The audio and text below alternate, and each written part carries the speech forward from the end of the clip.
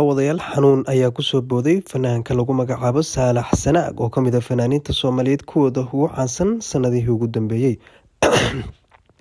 Xooga hargab ayaa iga raali noqda. Sanadihii ugu dambeeyey caanka ah waxaa la sheegay in dhakhtar ku yaalla magaalada muqdisho la dhigay markay saaka ahayd tobankii markaasi subaxnimo.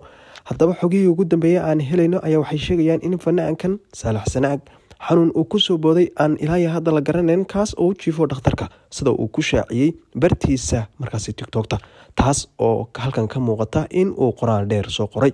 Haddaba fanaankan ayaa ka mid a fanaaniinta ugu caansan waqti xaadirkan casrigan isagoo noqday fanaaniinta markaasi reer waqooyiga ama waqooyi galbeed somalilan soomaaliya kuwooda markaasi ugu caansan oo ka soo baxa dhankaas iyo magaalada hargeysa ee caasimada somalilan haddaba xoogaha aan helayno ayaa waxay sheegayaan in fanaankani waayadanba uu jiray markaasi xanuun markaasi dhowr jeer ku soo markaasi boodbooday.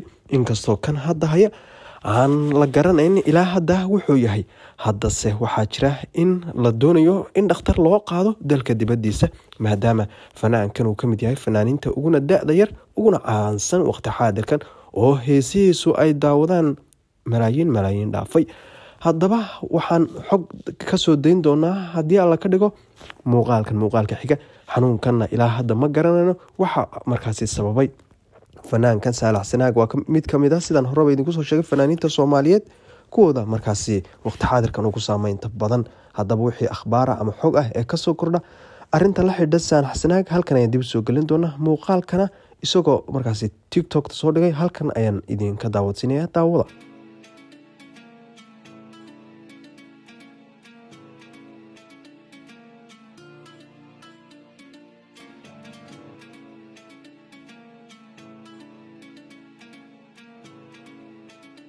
daawadayaal intaas ayaan ku soo gabagabeynaynaa waxaan rajeynayaa fanaankaasi soomaaliyeed in ilaahay subxaanahu watacaala caafimaad sareecana siiyo maadaama uu ka mid yahay fanaaniinta soomaaliyeed kuwooda ugu magaca dheer. Mahadsan idiin daawadayaal muuqaalka sii shargaray ee soomaalidaada kalena gaadhsiiya aan ogeyn dhacdadan la xidhiidha fanaanka saalax sanaag oo xanuunsanaya. Aniguna waxaan ahay cabduuli nadaara mahadsan idiin